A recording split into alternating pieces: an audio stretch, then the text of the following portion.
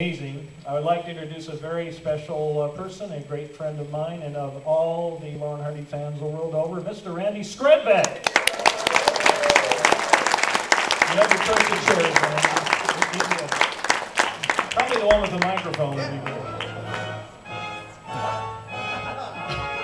Thank you. We do intros, they're late, but they're good. Russ will be working in another tent very soon, so.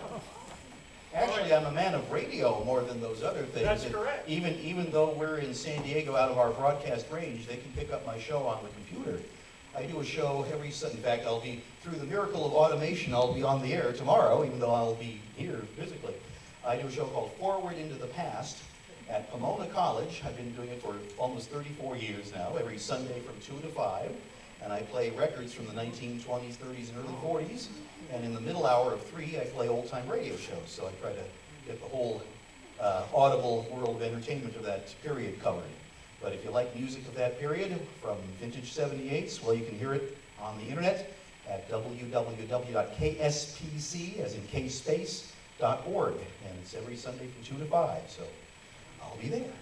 And it's an excellent show. Thank you. Not that I have to say that, but it is. We, we can all close our eyes and pretend we're listening to the radio. You, you could do that, just don't fall asleep. He did that Wake up for the tonight. movies.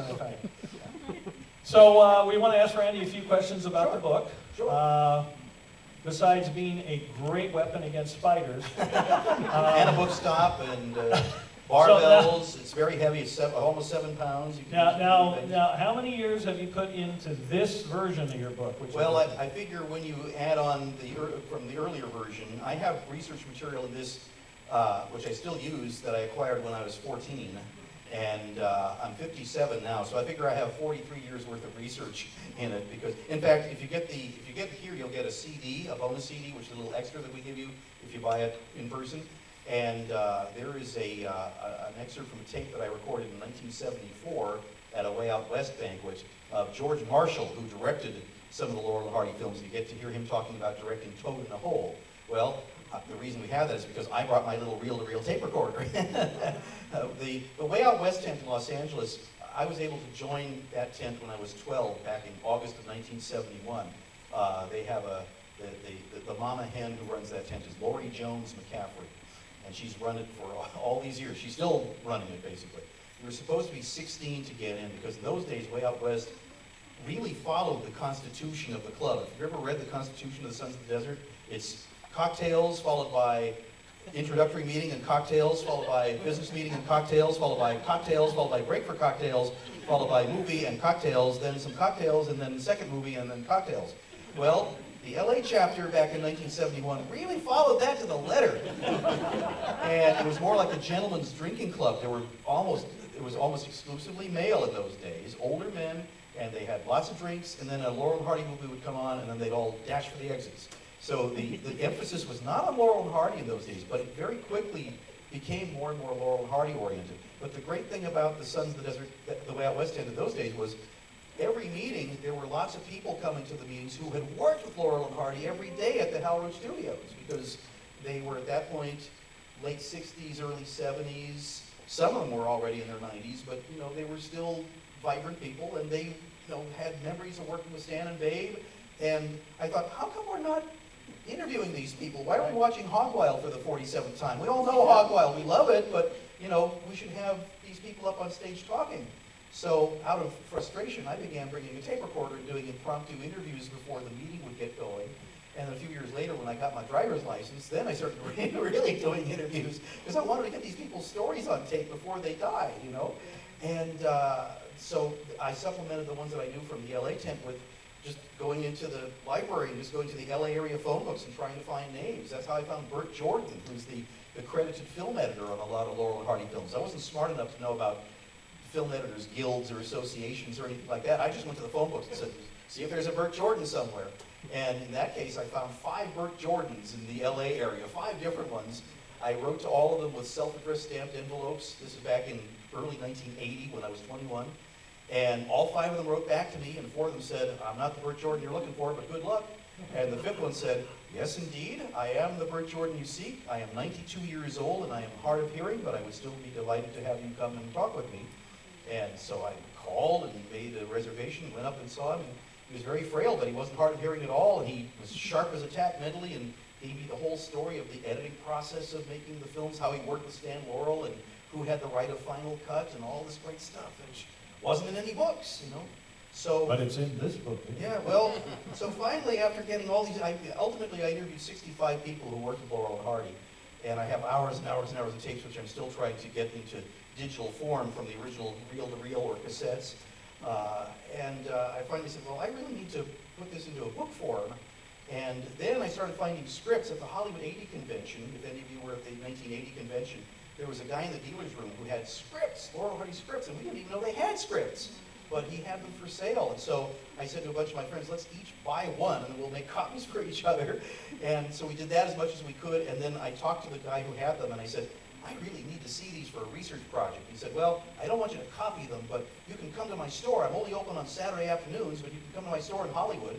So for like eight weekends, eight Saturdays, I drove from Buena Park all the way up to Hollywood every Saturday and sat on plastic milk crates dictating these scripts into my little tape recorder as fast as I could, because I only had about four hours every day to do it. But the thing is, the scripts all have scenes that were planned for the movies that never got into the final movies. Hal Roach always said 50% of what's in the script will not play. In other words, when you actually act it out in front of the cameras, you find out it wasn't as funny as it seemed when you were writing it. And so that's why we always had gag men there on the set to su- suggest other material to replace what wasn't working in the script.